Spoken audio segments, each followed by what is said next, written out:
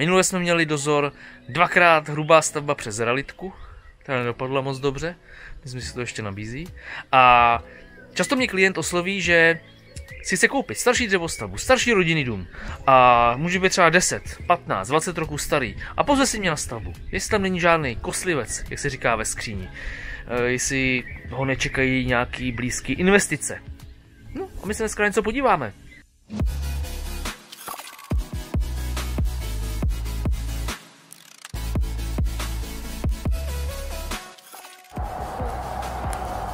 Štít už je jednou natíraný.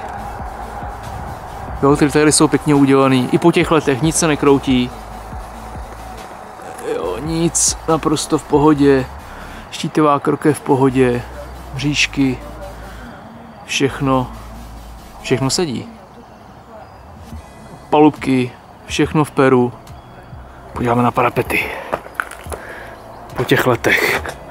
Jo, nějaký prasklinky tady jsou, ještě nepoužívali apolišty v té době. Takže to bych chtěl patrně lokálně zapravit, tam může dojít nějakému zatejkání. Jo, tady to samý, jo, prostě na polišty v době žádný, prostě dělalo se to na tupo, možná nějaký lůžkový, nějaký tmelový lože. Bych chtěl asi opravit. Jo, okna dvojskla v té době standard.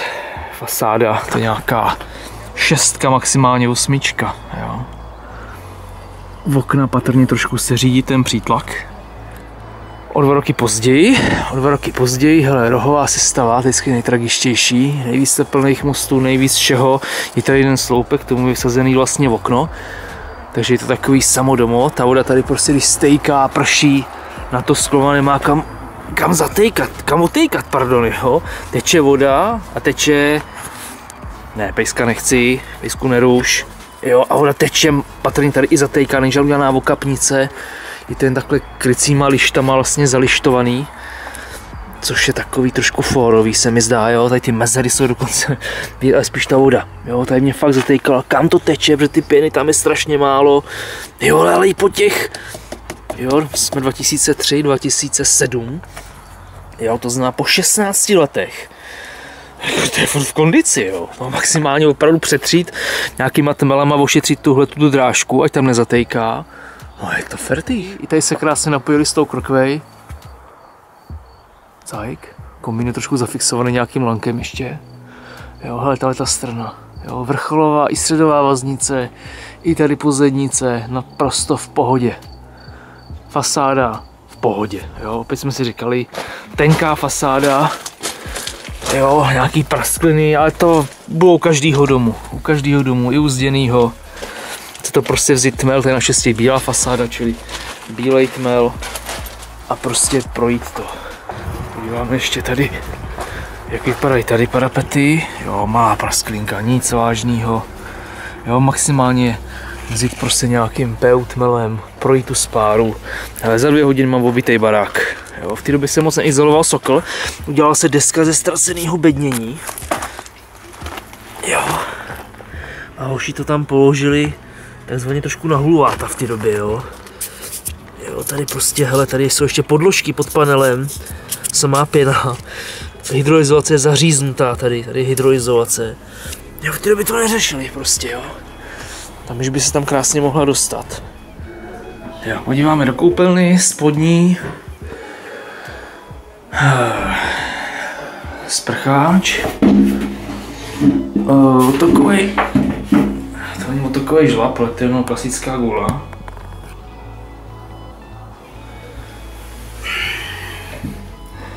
No, tady to trošku silikonu asi chtělo.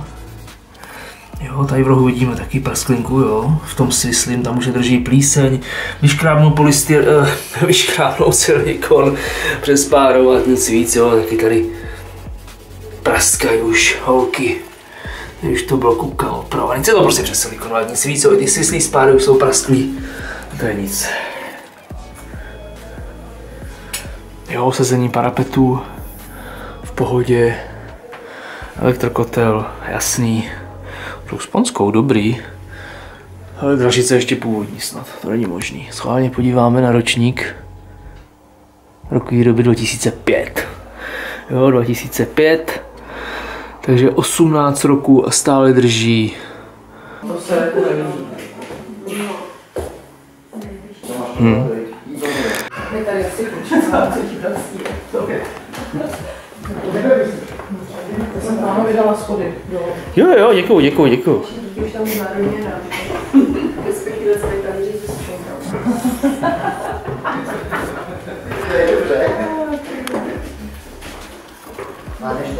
nahoru, ale myslím, že vezmu sebou ty sušenky.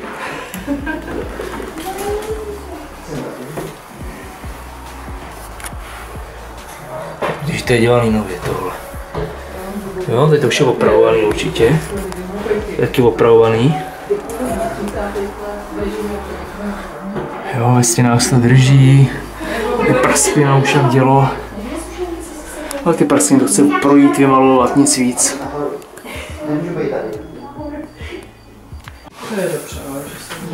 Pěkně, pěkně. Jo. Projít.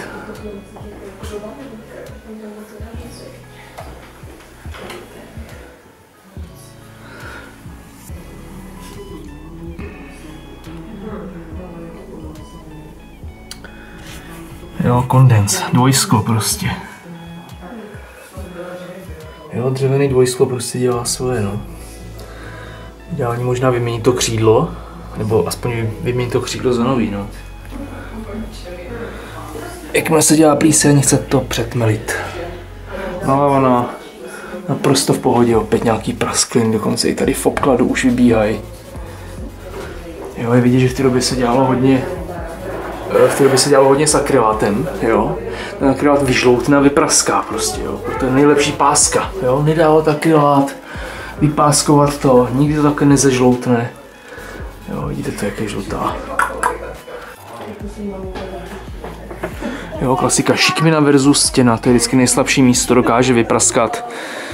I tady tomu také, bohužel to je vymalovaný. Ta pozdějnicová stěna je nízká, 60 cm, poměrně škoda, protože ty, že jo, to skosení tady je hodně blbý, je to využitelný špatně.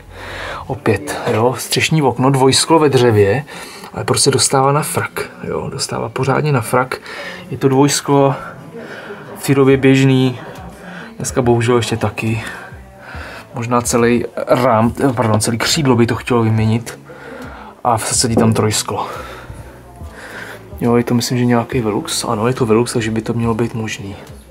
Jo, jak máte vymalování do barvy, tak se to vždycky špatně předělává. To je špatný. Tu spáru předělat bílou nebo šedou. To blbý, to blbý. Rekord těch dveří po platné době. Tak to klobouk dolů. Přiznám se pěkný, tady teplný most nemůže být ani náhodou. Ale za mě v pohodě.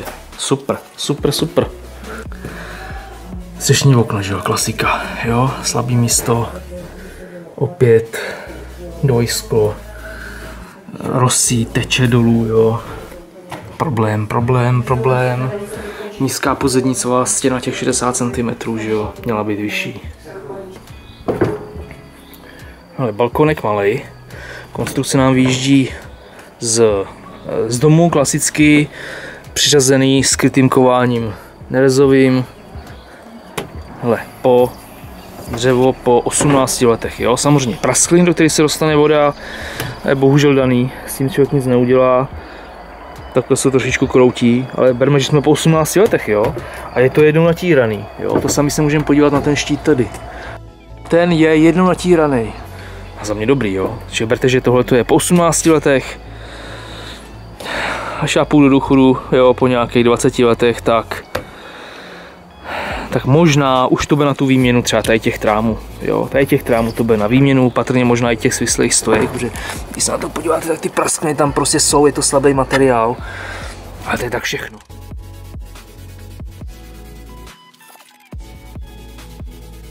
Zajímavý tohle, teď se boulí ta polišta úplně do boku. Za mě jako já si snad říkám, že by to stalo to úplně odstřihnout a prostě jen ten spoj zadělat něčím jiným.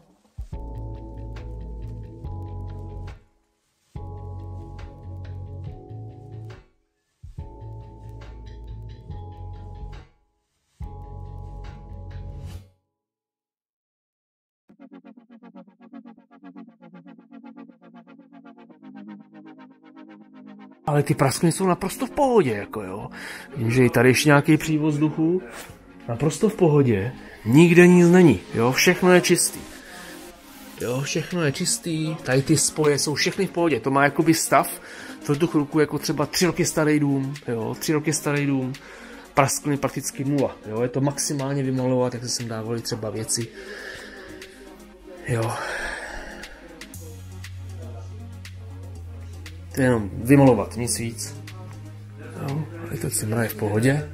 Jdeme do koupelny, nejvlhčejší věc v celém domě, jo, tam většinou ty praskliny prostě vybíhají, vybíhají. Ale to není jakoby z pohledu koupelny, to je čistá sádrokartonařina, prostě praskne, jo, strop možná trošku prohýba nějaké kondenzace, je to pouze vymalovat, pouze vymalovat, jo, tady už vybíhají třeba, už to možná někdo i opravoval, jo, ale je čistá sádrokartonařina, výmalba, přijde malíř, opraví, udělá malý servis, naprosto v pohodě, jo, naprosto v pohodě, Hele, sprcháč, už předmelovaný, opravovaný, ale každopádně bez plísně, každopádně tam v rohu bude chtít předmelit znova.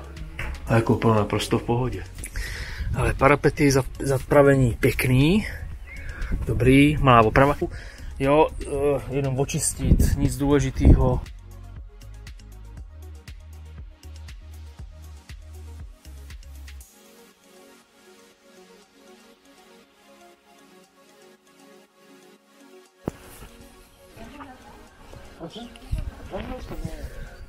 Jo, severní strana, klasický, eh, to je řasa už tohleto. To je biologické znečištění, jak je hrubá omítkovina, eh, dostane se do té omítkoviny prostě řasa, mech lišejník, tomu říkejme, a pak to dělá tyhle ty mapy. Jo? Je to, není to vada, dá se to krásně omejit. Jsou na to přípravky, omejete, dá se to ještě druhým nátěrem takovým impregnačním a už se to nezachytí. Proto to bude určitě severní strana, většinou, když nejde sluníčko tam. Většinou z těch stranách, kam jde málo sluníčko. Jo, tady nějaká res koukám, ale jo, hele, prasklinky, cokoliv, stěny, je to v pohodě, jo, tamhle je tam nějaký akrylátek,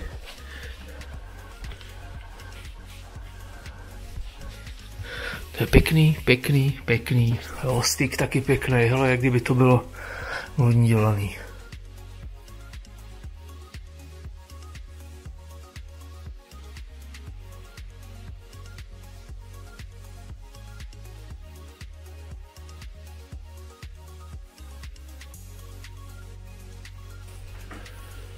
To je naprosto v pohodě, taky pěkný. Není nic. Jasně, tam běží ventilátor. Uh, není co. Tak, WC. Dobře, ale. Hm, další ventilátor. Ale obklady, lažby, naprosto v pohodě. Trošku vypadaná spárovačka, ale to je podstatný. No, je to dobře udělaný. to, tohle jsem teda ještě neviděl. Strop bez prasklin. Drží jak novej. Ty spoje jsou dělaný, to je trošku odchylka od rýmařova. Rýmař vždycky dělá na pásku, tady v domě jsou dělaný na akrylát, proto praskají. Jo, to je zajímavý. Podíváme na napojení parapetu, ale naprosto v pohodě. Pěkný, pěkný, to je Rýmařov, prostě běží, para, běží radiátor z podlahy, prostě. Tak, jsme v koupelně. A jo, to je ten dekor. Malá prasklinka, nic důležitýho, pěkně rezová lišta, dneska nestandardní, ale připojení vany naprosto v pohodě, žádná, žádná plíseň, nic, obklady říznutý, naprosto v pohodě, bez chyby. No, to je zajímavý. Sprcháč. který jednoznačně chce uh, vyspárovat znova. Jo, ty spáry tady jsou úplně vyběhlý. Uh, chyba, chyba, chyba, chyba. Tady to je snad prořezávaný, jakoby, jakoby na místě, ale to není prořezávaný na místě. Jo, to je vážná chyba. Se divím, že tam, tam je to hrozně zatejká, a hydrolizace to musí držet. Tady z druhé strany je sprcháč. To mi neposvítí, ale tady žádná plíseň není. Je to absolutně čistý. Takže naprosto v pohodě. Jo, to by to už dávno, by tady lezla nějaká plí... Ne, nic tam není, nic tam není. Jenom pavučiny. Jo, takže naprosto v pohodě. Komí naprosto v pohodě. Takhle to má být, jak dole, tak zhruba nahoře. Prostup anténa, super. Hele, nádhera. To je super tohle. Hm. Dotečný poklop. Pěkný. Hm, pěkný.